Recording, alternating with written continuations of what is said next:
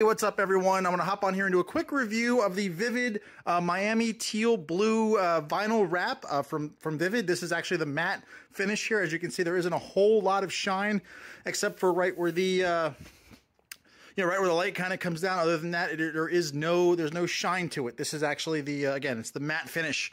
My wife and I, we actually decided to put this on her minivan because she wanted something that was uh, an interesting, different color, and uh, we're really happy with the way it turned out.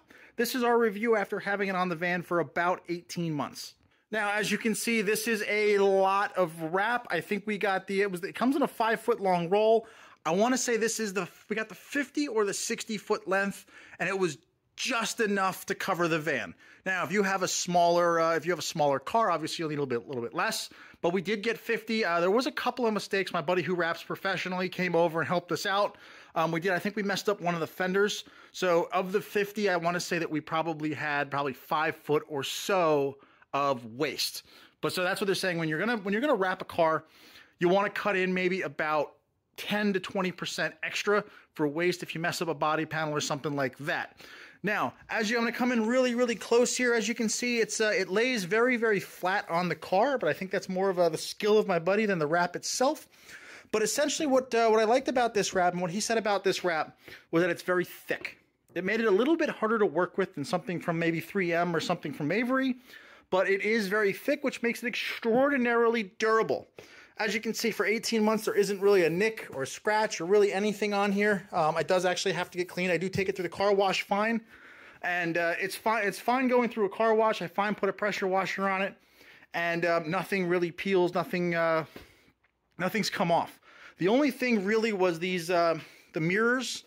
There's only one slight little wrinkle here on the mirror, as you can see here, and uh, we do have to actually hold them down here with tape and uh, this was actually a parking lot in uh, in DC. I took a concrete wall, um, came a little bit too close to it, but that was the only tear there in the vinyl, because again, it's a relatively thick wrap. Um, but other than that, I mean, it's a, it's a fairly, again, it was a little bit harder to work with, but it is a very durable, it's a very thick wrap. Let me see if I can, uh, if I can open up here and you can show you the edges. Now, if you come down here on the edges, you see we kind of went around the edge here. Um, it doesn't, again, it doesn't lay 100% flat inside some of these crevices. So you're going to have a couple of more seams. That was, that was what he was saying. He was saying, he's like, look, I can't do everything without a single seam the way that I would with 3M, especially with the tailgate.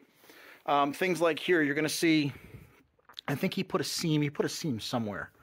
I can't quite see where it is. But anyway, he'll put a seam somewhere because there's some of the, it doesn't really, it doesn't like to stick in the negative spaces as much.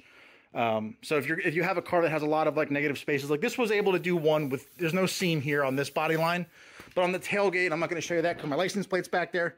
But there's a uh, there's a negative space that he had to put uh, two pieces instead of just one. But overall, happy with it. The the color is very true, very true to the listing, and it's a high it's a it's an inexpensive wrap that I highly recommend. And I think it's going to last for many, many years. Uh, because again, this is a daily driven vehicle. This is not a show vehicle by any means. It's daily driven. Uh, it does get parked inside, but it, uh, it does get driven in the rain. It gets driven in the snow and all kinds of bad weather. And the wrap just does, it just stays where it's supposed to be. So I do recommend it if you're going to drive your car a lot.